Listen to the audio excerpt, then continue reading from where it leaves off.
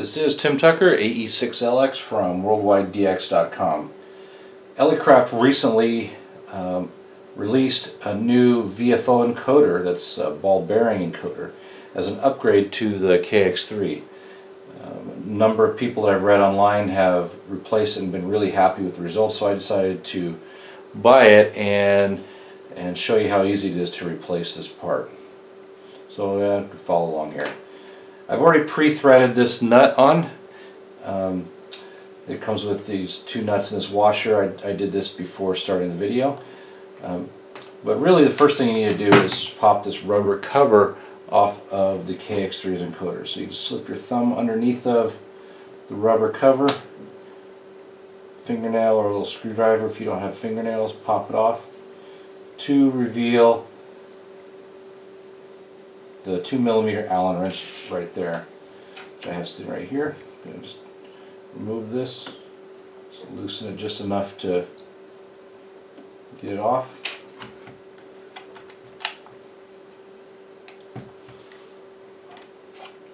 So it comes right off. Little felt washer. This adds friction um, to the encoder. We're going to set that aside. Okay. And you can see here's the old encoder. I'm going to go ahead and use a pair of needle nose pliers because there's not enough room really between the plastic display cover and here to use a, a regular box end wrench. And this is not really tight anyway just enough to add a little friction so we'll just spin it off here. Comes off pretty easily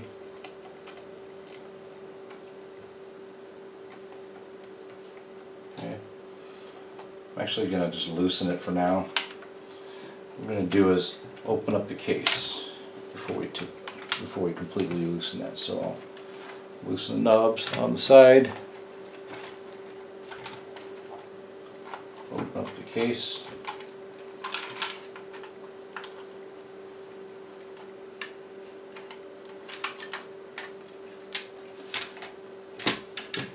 Now in this situation you see I've got batteries installed. Um, probably a good idea to remove these or at least remove the ribbon cable. Um, I'm just going to remove the batteries so there's no power going to anything.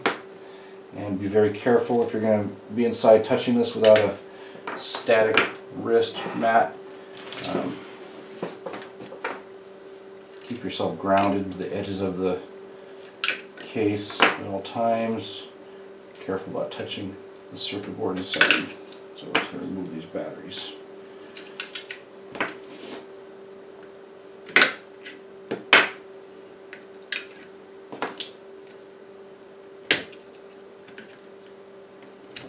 Okay.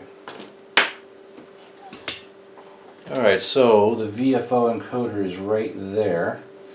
So all I'm going to do is continue loosening this.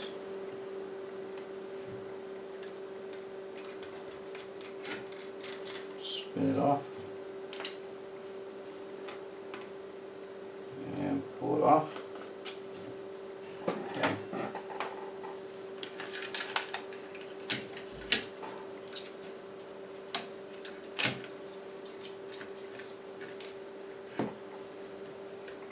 Okay, the four pins for the new encoder or for the original encoder, whichever one are right there. Okay.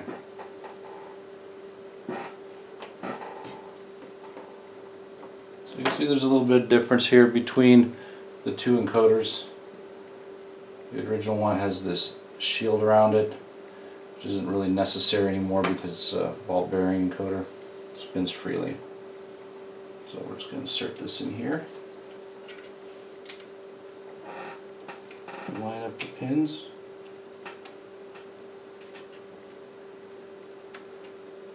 Press down.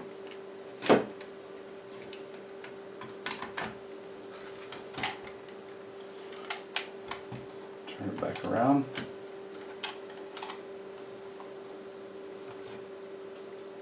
And see I pulled out the old one. Doesn't really matter if you use the old one or the new one. Put a lock washer on. Put the nut on.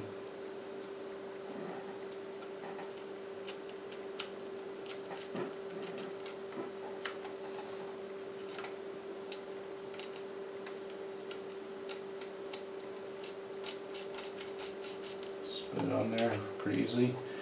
Use the lock washer, I mean use, use the um, needle nose pliers to tighten it up just enough to keep it snug.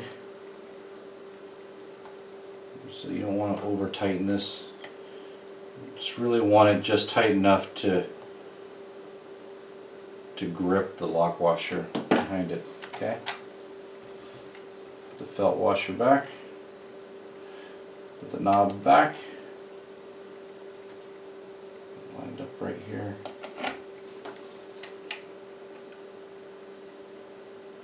And now we'll just tighten up the Allen nut.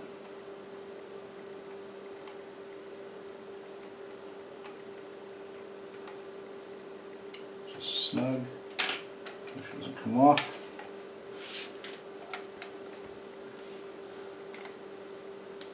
Cover back on.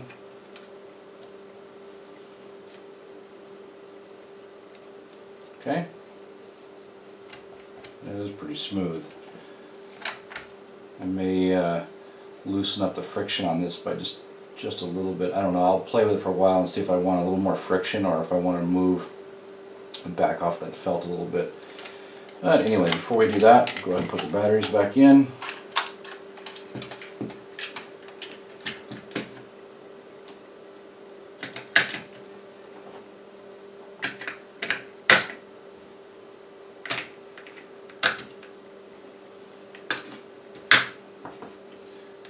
KX3 really is a neat little radio. I recently just charged these batteries up, so I'm ready to go take it out in the field. And put the whole thing back together.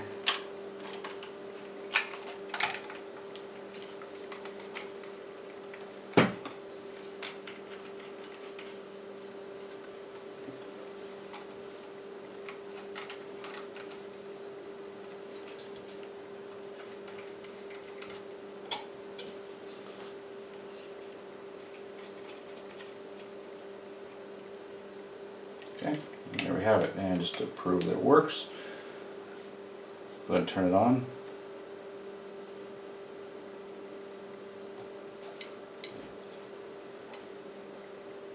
And should be able to see on the screen there, the encoder works just fine. Yeah, as I'm using this, this really is a much smoother encoder than the original one. It's a, it's a nice upgrade. So if you haven't uh, purchased it yet, might consider it. If you're happy with the original one, obviously nothing wrong with that, but I can say this uh, this is really pretty smooth. So that's it. Simple change, simple upgrade. Hope you enjoyed uh, putting this together. If you purchased a KX3 as a kit, didn't put yours together, hope you see how easy that is. Don't be afraid to to try and install one of these yourself. This has been Tim Tucker, AE6LX from WorldwideDX.com, and I hope you enjoyed the video.